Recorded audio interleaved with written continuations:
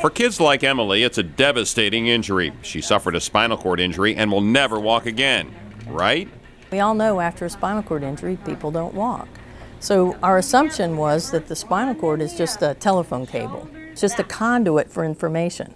Well, it turns out the spinal cord is really, really smart. And it's almost, and it may be as smart as the brain. That information was gold for University of Louisville researchers. The brain gets information, it listens to it, reads it, responds, and integrates it and generates an output. The spinal cord can do the same thing. And that's what the researchers found out. When they found that out, they said, hmm, I wonder if anybody can use this information in rehabilitating people with spinal cord injuries. And the answer is yes.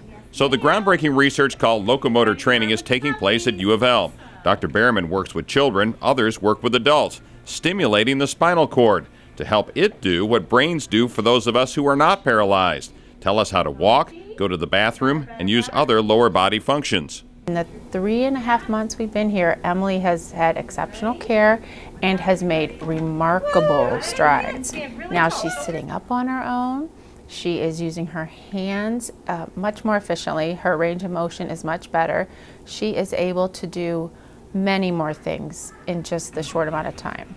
We're very excited for that as well as hopeful for her future. A child that had not walked in 16 months after an injury began to take steps only after 30 sessions of locomotor training. One mother said, My child was like a noodle when I came in here, and he can sit on his own now, and he's gained a lot of confidence. There's not a lot out there with this, this new thinking and this whole um, change in the way we perceive uh, spinal cord injuries. So we weren't sure what to expect.